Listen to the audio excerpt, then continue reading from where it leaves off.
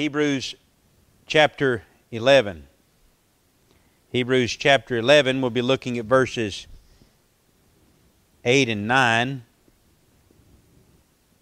this evening. Well, we'll get into 10 just a little bit, so we'll just go ahead and read all three of them together. And the title of the message this evening is The Sojourner's Rule of Life. The Sojourner's Rule of Life.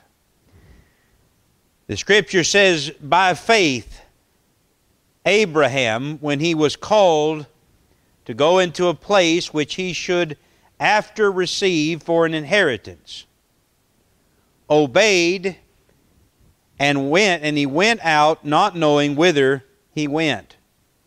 Listen, by faith he sojourned in the land of promise, as in a strange country, dwelling in tabernacles with Isaac and Jacob, the heirs with him of the same promise. For he looked for a city which hath foundations, whose builder and maker is God.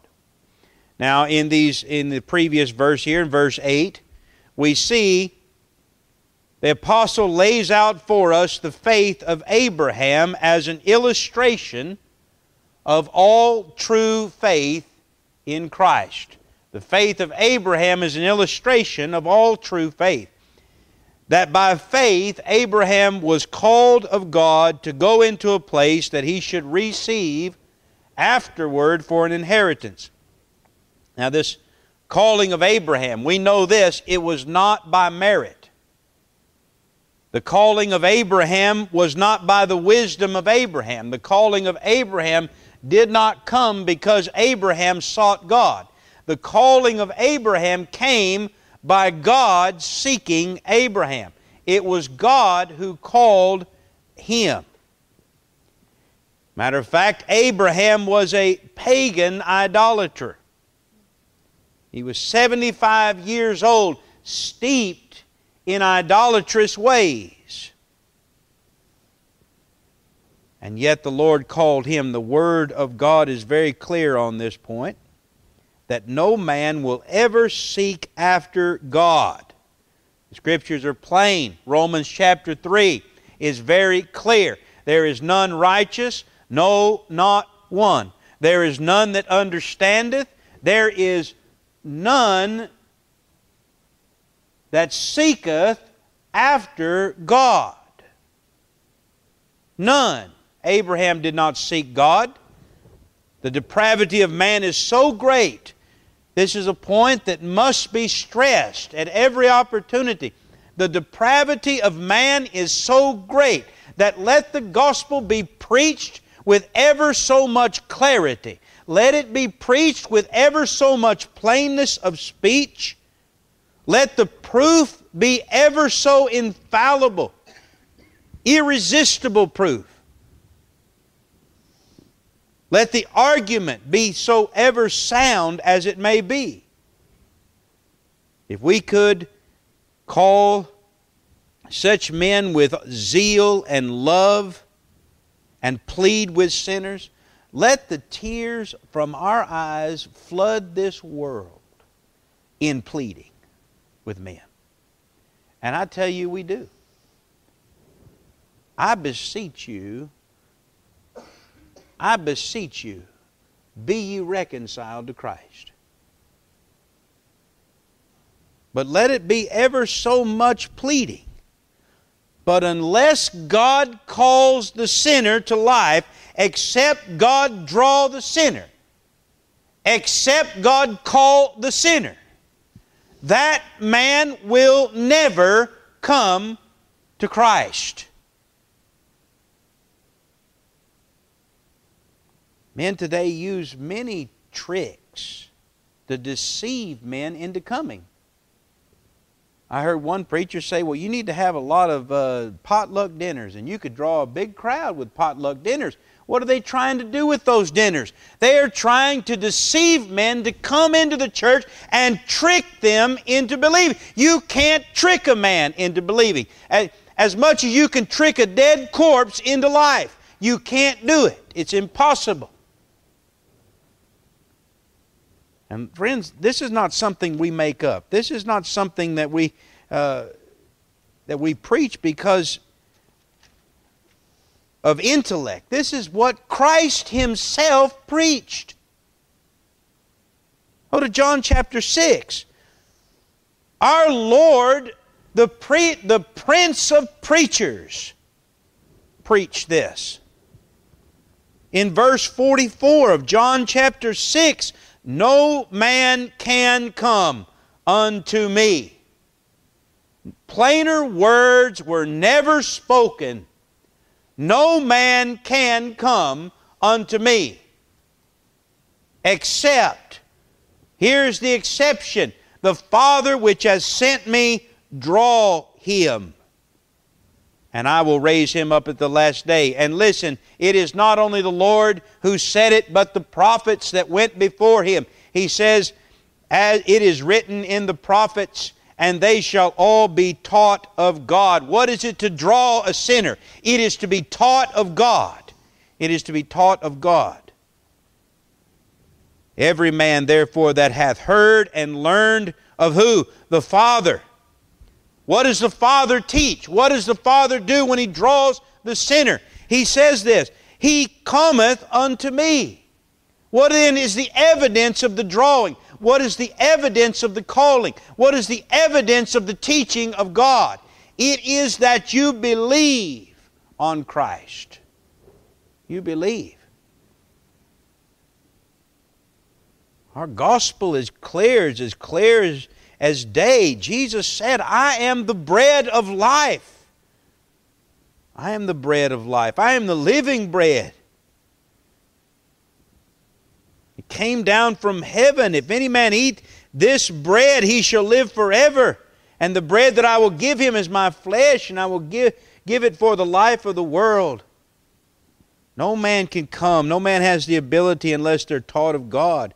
And that's what happened to Abraham. When he was called, he was taught of God. He was drawn of God. And the result of calling is always this faith in Christ. That is always the result. It is not a call to decision, it is a call to life. It is a call to faith. all that God gave His Son shall come to him. Of which Jesus declared that they should all, all of those that He gave should come to Him, that they would believe on Him, who by nature could not. But how? How shall they who by nature, being depraved, who are unwilling and incapable, how shall they come to Christ? They are drawn of the Father taught of the Father, even as Abraham was, by divine call and revelation of God, by the sovereign, free, and grace of God alone, Abraham was called. Have you been called?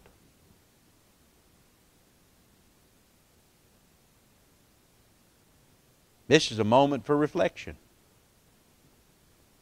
Have you been called? The apostle plainly tells us then the means of how God calls sinners. The means by which God calls sinners is also plainly declared. It's plainly declared man's depraved and he will not come to God. He cannot come to God, and nor will he seek God. It's plain. And it's plain that this, that only God calls and draws and teaches sinners. But how then does God call sinners? How then does God teach sinners? I tell you, through the preaching of the gospel. The preaching of the gospel. Go to Romans chapter 10. Romans chapter 10.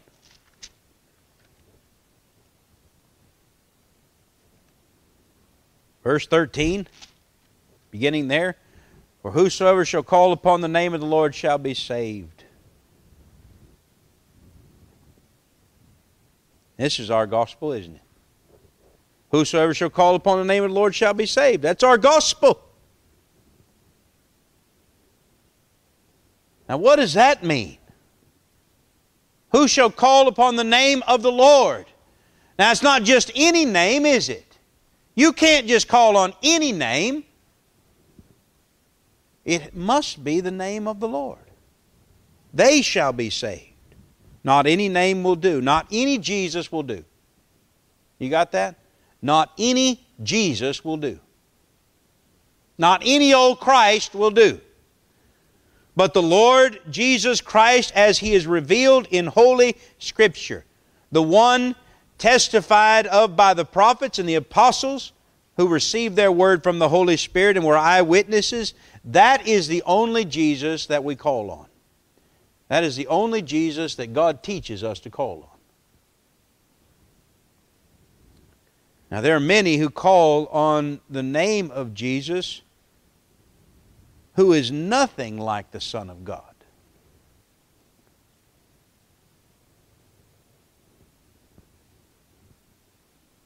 They call on the Jesus of their own imagination, the Christ of their parents, the Christ of their feelings. Well, I think Jesus, I don't care what you think Jesus is. And you know what? You shouldn't care what I think Jesus is. You should care who Jesus is according to the Word of God. And everything else must be set aside. Feelings, thoughts, parents, grandparents, whatever they said about Jesus, if it contradicts the Word of God, it is not Christ. This is who God reveals the Christ of this book. Christ of this book. The only Jesus who can save sinners is the one is revealed in this book. And if our Jesus is not this Jesus, then our Jesus is not Christ. What does this book reveal about this name of the Lord? Whosoever shall call upon the name of the Lord shall be saved. Who is, the, who is this Lord? Well, first of all, He is God manifest in the flesh. you got that? God manifest in the flesh. I like this without controversy. You see that? See what Paul did? He put all debate aside immediately. You know, I love that story about the Unitarian, uh, Unitarian and the brother who's a Baptist preacher, and uh, they said uh, he, he called his Baptist brother over. He was sick to preach for him. He said, "You can't preach anything controversial." And you know the Unitarians didn't believe in the, the deity of Christ, so uh, he, he preached from that text in 1 Timothy 3.16 without controversy. It said, without controversy. Great is the mystery of godliness. God was manifest in the flesh. So that's the Lord I'm talking about. That's the one that God calls us to. God manifest in the flesh. The Christ of Scripture, God sent to redeem, save, justify, sanctify, and obtain everlasting righteousness for all the elect. You got that? All the elect. God hath made him to be wisdom, righteousness, sanctification, and redemption for us. You see, this Christ that we believe on, that we are called to believe, is a representative Savior. A representative Savior. And we know this Christ is victorious in his work. Thou shalt call his name Jesus. You listen, before he did one thing as a man, before he was born into the world, you get this. The scripture said he shall save his people from their sins. It was as good as done before it was even done. Our Christ that we worship is successful he said, It is finished. By his one offering, he hath perfected forever them that are sanctified. And Christ is victorious, successful Savior who saved his people. And even now he has sent the Holy Spirit into the world to call them, to call them who are lost. And I tell you, not one of his elect will ever be lost. Not one of them will ever not come to Christ. They will all come to him. All that the Father giveth me, says my Savior, all that the Father hath given me shall come to me. And him that cometh to me I will in no wise cast out. I am the good shepherd, and know my sheep, and am known of mine, and the Father knoweth me. Even so know I the Father, and I lay down my life, you listen, for the sheep. For the sheep. Not for everyone, for the sheep. Those that the Father hath given me, I lay down my life for them. And he said, Many sheep. I, he said, I have sheep that are not of this fold. Does it not kind of make you smile that he was thinking of you? Specifically, you. I have sheep not of this fold. Them I also must bring. I must bring them. And there shall be one fold and one shepherd. This, thus, the gospel that we preach, the purpose that we preach this gospel, is that God should bring in His sheep and they should believe and follow him. But now then, what do you do with this? Because every one of you just heard me. Paul says, Have they not all heard? Didn't you just all hear me? Every one of you just heard me.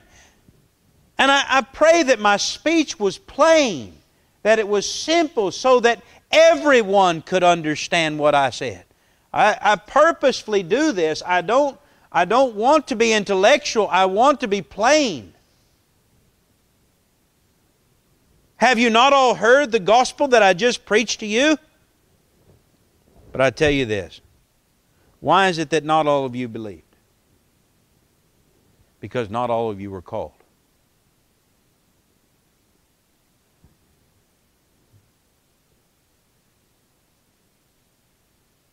Not because you weren't smart enough to understand what I said.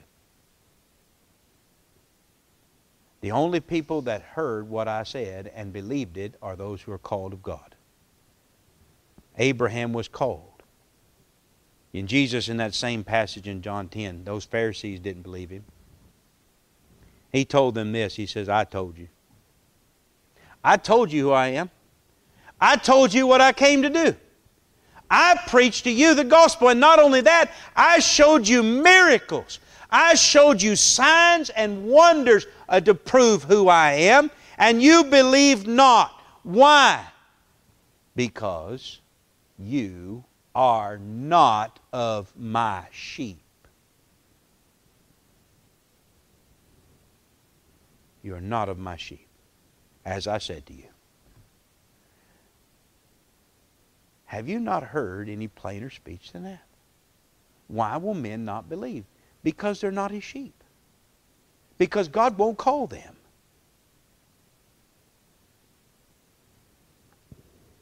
If you are Christ and He is your shepherd, I know this. When you're called, you'll do the same thing Abraham did. What did Abraham do? He obeyed.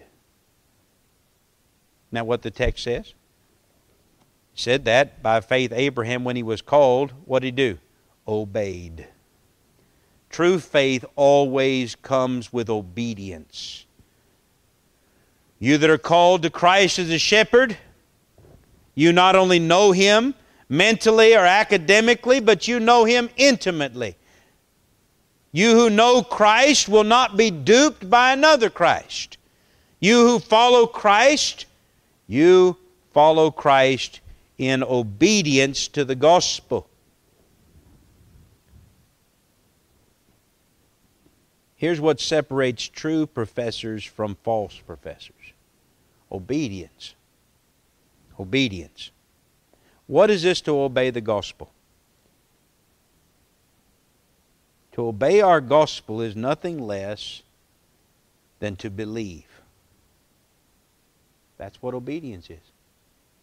Obedience is, didn't I just preach that? Whosoever shall call upon the name of the Lord shall be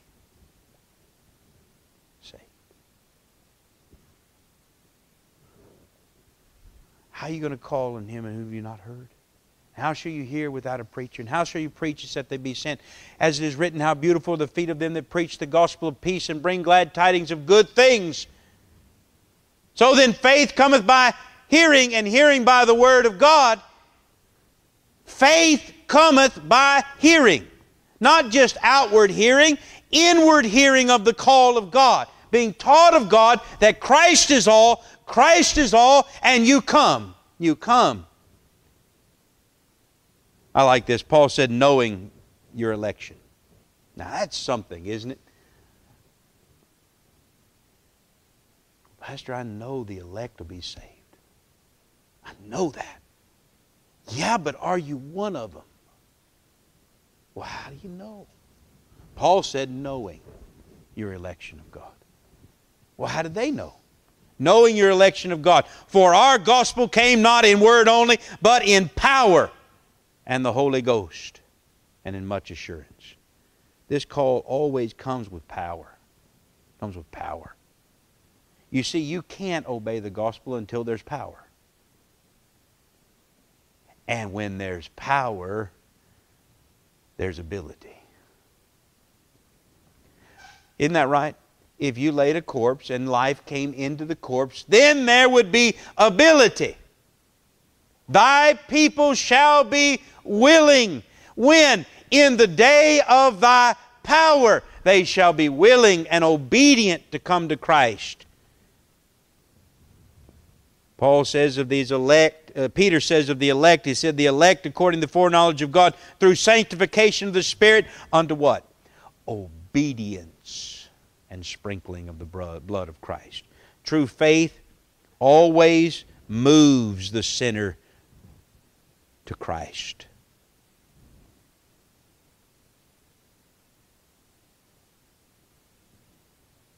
To you who obey, was Christ an option? Or was he a necessity?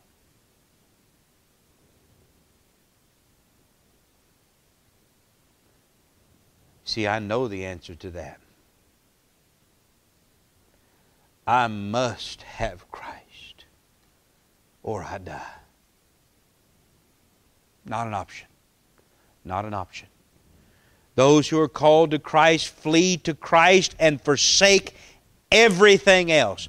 That's what it is to obey to Christ. It is absolute, free, and complete surrender to Christ and Christ alone. That's what it is. Obedience. Is this your faith? Is this your faith? Then listen, you have the same promise Abraham had. You have the same promise. For we have this hope of Abraham even the imputed righteousness of Christ that is given to everyone that believes. All who are called and obey the gospel receive with Abraham the same blessings and benefits of Abraham. And so now let's move on in our text. Now, verse 9. By faith he sojourned in the land of promise. Now, the apostle, after giving us the example or illustration of Abraham's faith, he is now going to give us a very practical view of Abraham's faith. A very practical thing concerning true faith. By faith, Abraham sojourned. Now, having been called of God by faith, obeying the gospel, now we see how he walked in this world how he walked. We see in these few words his rule of life. His rule of life. How did Abraham sojourn? What does your text say? By faith he sojourned in the land of promise by faith. The apostle then in the book of Galatians Galatians testifies to us that Abraham is the father of all believers. The father of all believers. seeing he is the prime example of how the true believer is to live in this world, he sets him in opposition to the rule of law as a guide for life. You remember that was the controversy in the church of Galatia. The controversy was that men should believe in Christ and then, after believing, should go back to the law as a rule, as a rule of life.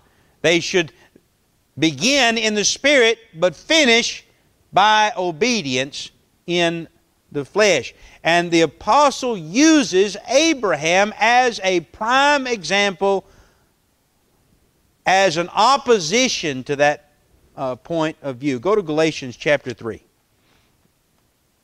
Galatians chapter 3, verse 1. The apostle says, O foolish Galatians, who hath bewitched you? That you should not obey the truth, before whose eyes Jesus Christ had been evidently set forth crucified among you. This only would I learn of you. Received you the Spirit by the works of the law or by the hearing of faith? How did, we've just been over that. How did you receive? How did you receive this Spirit? Was it through the law or faith? Are you so foolish to begin in the Spirit? Are you now made perfect by the flesh? And what he means by the flesh is the law. Remember the point that the contention was circumcision. That's the point of the law they wanted to keep. And he said, Now are you made perfect by circumcision? Are you made perfect by obeying that, that law?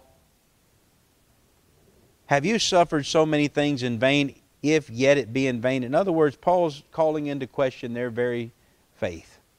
He says, I'm calling into question, if you believe that, then you're lost. Everything you've suffered has been in vain, if that's what you believe. He therefore that ministereth unto you, ministereth to you the Spirit, and worketh miracles among you, doeth he by the works of the law or by the hearing of faith? Listen, even as Abraham believed God, it was accounted to him for righteousness. Know ye therefore that they which are of faith, the same are the children of Abraham. And the scripture, foreseeing that God would justify the heathen through faith, preached before the gospel unto Abraham, saying, In these shall all the nations of the earth be blessed. So then they which be of faith are blessed with faithful Abraham. You see now that Abraham is the example, the rule of life. He's saying, look, Abraham is the example. He's not only the example of how a sinner is called to life and faith, but he's also an example of how we're to live in this world. Not by law, but how? By faith. By faith. Now, all who would be brought back from faith to law, Paul says, you need to listen to the law. You need to listen to it. If that's the rule of life that a man sojourns by in this world, you've not heard the law. Paul says in the, uh, verse 10 then, he says, cursed. For as many as are under the works of the law are under the curse of the law. As it is written, curses everyone that continueth not in all things written in the book of the law to do them. But that no man is justified by the law in the sight of God, that's evident. That's evident.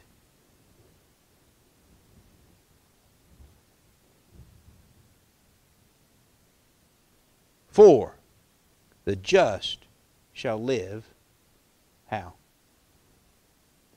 By faith. By faith. So then, how did Abraham live?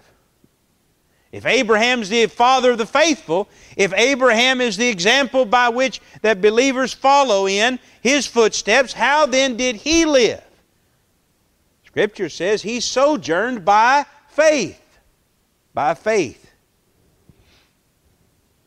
Now, I'll tell you this it cannot be of both. It cannot be of both.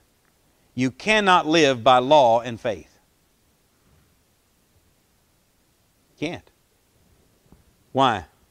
Paul just tells us that in verse 12. And the law is not of faith. Now, I love when Scripture is plain, and it's always plain. Men can throw their objections to it, but that's just so. Just as grace and works cannot mix, I tell you this faith and law cannot mix. Not the same. If it is law, it is not a faith. It's not a faith. The law is not a faith. A man that doeth them shall live in them. Shall live in them. And all who live in them, what is that? Cursed is everyone that continueth not in all things. Now, this is where men start throwing in their objections. They say, Well, I don't mean all the law, I just mean certain parts of the law. No, can't do that. The law is the law. The Ten Commandments is just as much the law as circumcision and tithing, just as much as the dietary and governmental laws of the Old Testament Scripture. Law is the law, and curse curses everyone that continues not in all them. But for us, but for us who believe, as we sojourn in this life, this is our rule. This is our rule of life. That our Savior was made a curse for us. What he tells us Christ hath redeemed us from the curse of the law by being made a curse. As is written, curses everyone that hangeth upon a tree. For what purpose did he do this? That we should receive the blessing of Abraham. That says in verse 14, that the blessing of Abraham might come on the Gentiles through Christ, that we might receive the promise of the Spirit through faith. Through faith. So when Abraham sojourned, was that before or after the law? Paul says it was 430 years before the law was ever written. He sojourned by faith. Every day, every day Abraham walked upon the face of this earth, you listen how he walked. He walked by faith. He walked looking forward to the coming of the seed by which all the nations of the earth should be blessed. Jesus said that. Abraham rejoiced to see my day and saw it and was glad.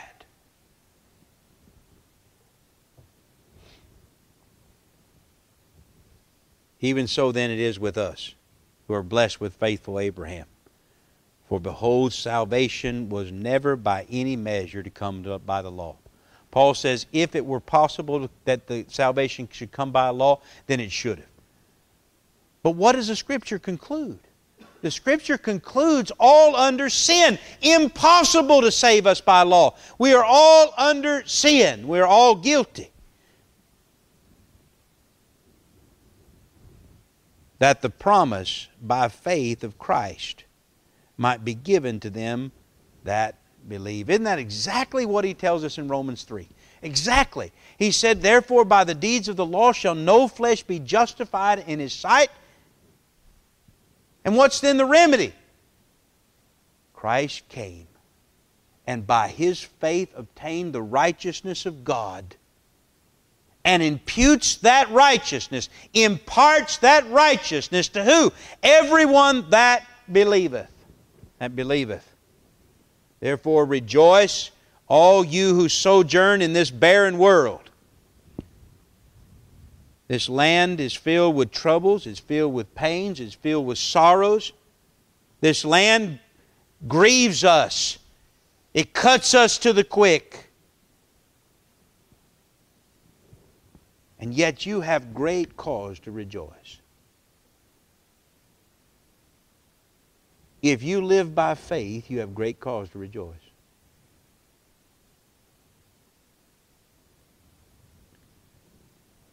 Rejoice, for Christ is the end of the law.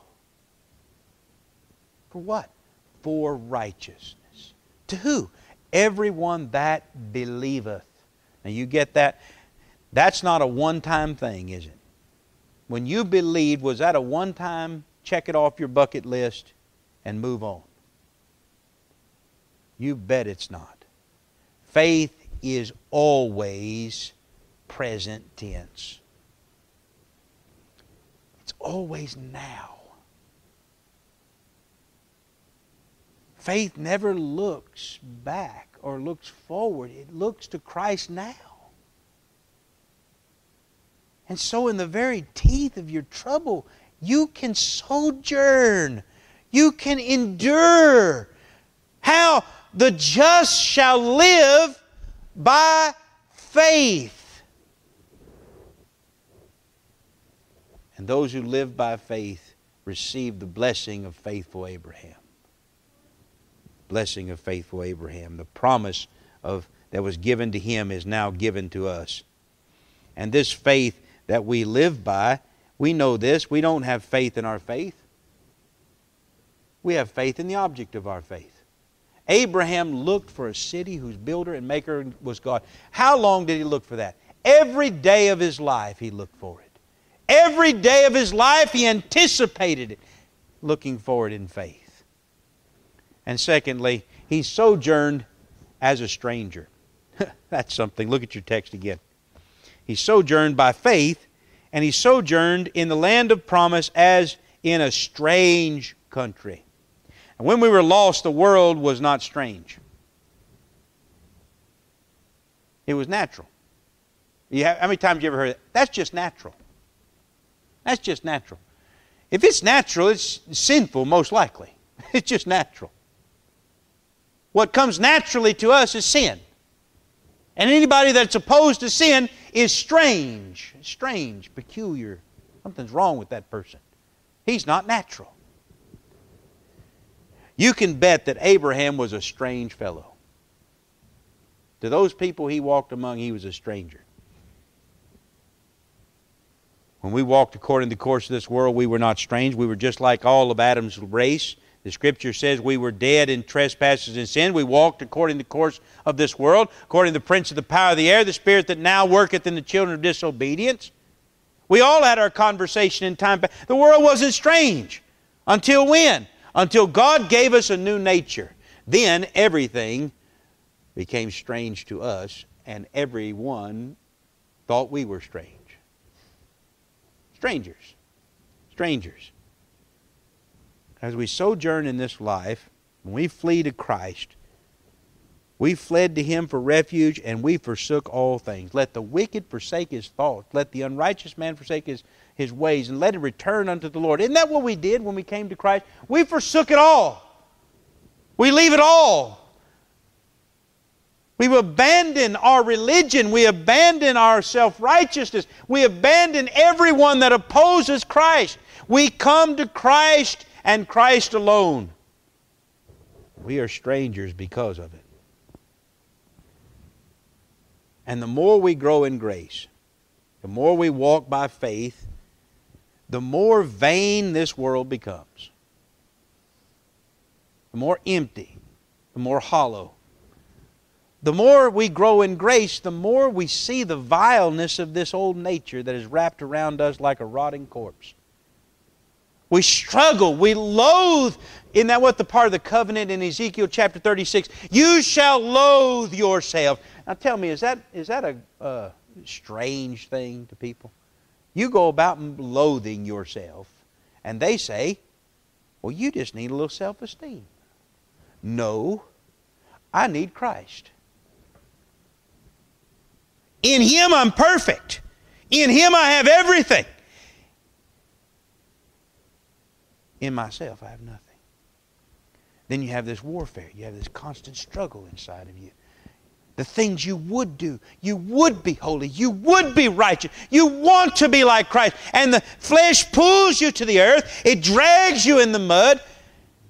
You say, Oh, wretched man that I am, who shall deliver me from the body of this death? And yet the Word of God tells me I am as righteous as God's Son. Talk about a strange fellow. You're a strange fellow, believer. You're a stranger. And the world won't understand you. Abraham walked in the land of promise and didn't own a thing. He never bought a piece of ground till his wife died, had to buy that cave to bury her in. He didn't own one plot of land, yet it was all his. Isn't that the same with you? Believer, you have nothing and yet you own everything. You're a strange fellow.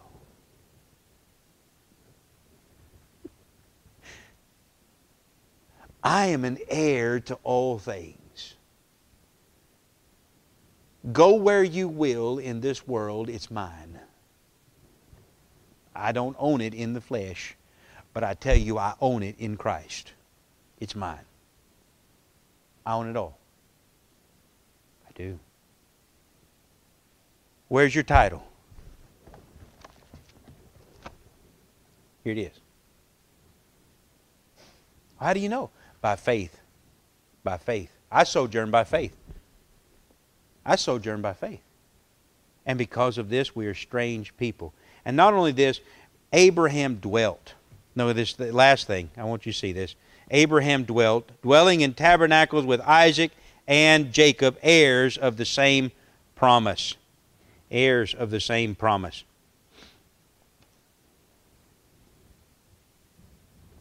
Now, Abraham, these, these men dwelt in his loins. We know that. And he didn't, before he had Isaac, he, he only saw this by faith. But there was a day that came and Isaac was born, and he dwelt with Isaac, his son. He saw what God had promised. And listen to this he also saw Jacob. You know that? Jacob was 15 years old by the time Abraham died. He actually dwelt in tents with them. Isn't this what we're doing right now? Dwelling together in tents. I tell you what, every time I see one of God's people come in, it encourages me. Just as much as Isaac encouraged Abraham. Because he knew that through that man Christ should come. I tell you this, I'm encouraged when God brings his people in. And though we don't see them now, listen, he will bring them in so that we could dwell together. Believer, we dwell together in these mortal frames, and we, by our sojourning, by sojourning by faith, we encourage one another. Your sojourning by faith encourages me to sojourn by faith. Encourages me. Forsake not the assembling of yourselves together as a manner of some is. For the encouragement of the saints, to edify, to stir one another up to love, provoke me to love. And that's what we do. So as we sojourn, we sojourn by faith, we sojourn as strangers, and we sojourn together. Just like Abraham. I pray that God bless this to you. Let's stand be dismissed in prayer.